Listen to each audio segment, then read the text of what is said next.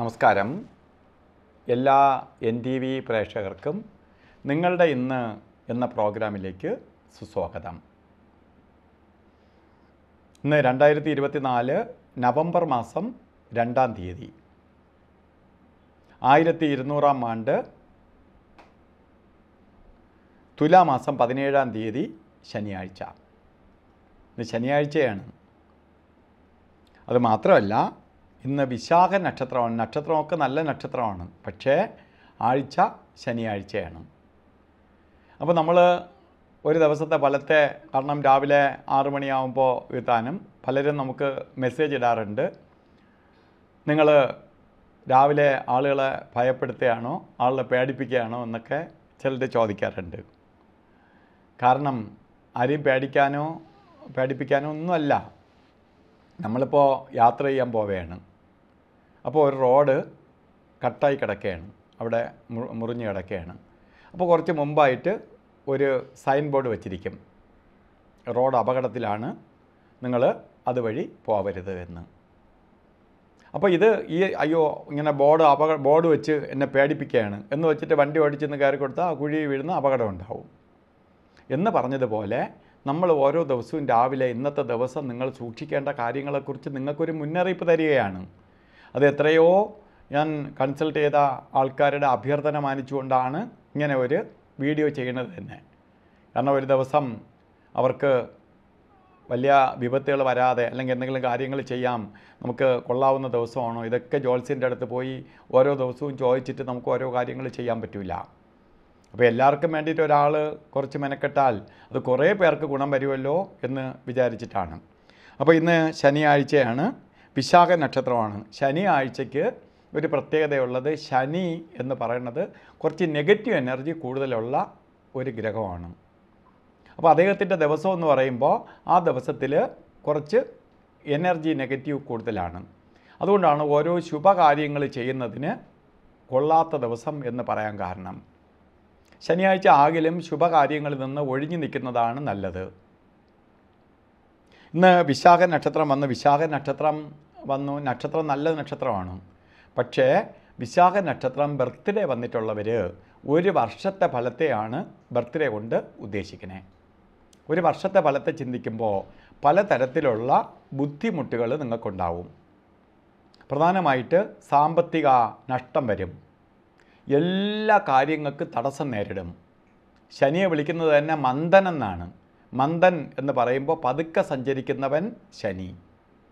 ഒരു കാര്യങ്ങളും സമയത്ത് നടക്കത്തില്ല എല്ലാം ഡിലേ വരും.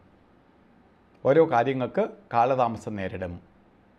അപ്പോൾ പലതരത്തിലുള്ള ബുദ്ധിമുട്ടുകൾക്കിടവരുന്ന സമയമാണ് ഈ ശനിയുടെ ബന്ധം നിൽക്കുന്ന അല്ലെങ്കിൽ ശനിയാഴ്ച ബർത്ത്ഡേ വന്നിട്ടുള്ള നിങ്ങളുടെ അവസ്ഥ. അതുകൊണ്ട് സാമ്പത്തിക കാര്യങ്ങളിലാവട്ടെ അതുപോലെ ചെയ്യുന്ന പ്രവൃത്തിയിലാവട്ടെ വളരെ ശ്രദ്ധാലുവായിരിക്കണം. കാരണം ഒരു ബിസിനസ് ചെയ്യുന്ന ആളാണെങ്കിൽ ബിസിനസ്സിൽ പ്രതീക്ഷിക്കുന്ന രീതിയിൽ ഗ്രോത്ത് ഉണ്ടാവത്തില്ല. ജോലിയിലിരിക്കുന്ന ആളിന് പ്രമോഷനോ അതുപോലെയുള്ള സാമ്പത്തിക നേട്ടമോ വരത്തില്ല. അതുപോലെ അധിക ചെലവ് വരും. ശാരീരിക ബുദ്ധിമുട്ടുകൾ വിട്ടുമാറാതെ നിൽക്കും. ഇതൊക്കെയാണ് ശനിയുടെ ബന്ധം വന്നിരിക്കുന്നതിന്റെ പേരിൽ ഉണ്ടാവുക. അപ്പോൾ ഇതിനെ നമുക്ക് എങ്ങനെ അതിജീവിച്ച് പോവാം?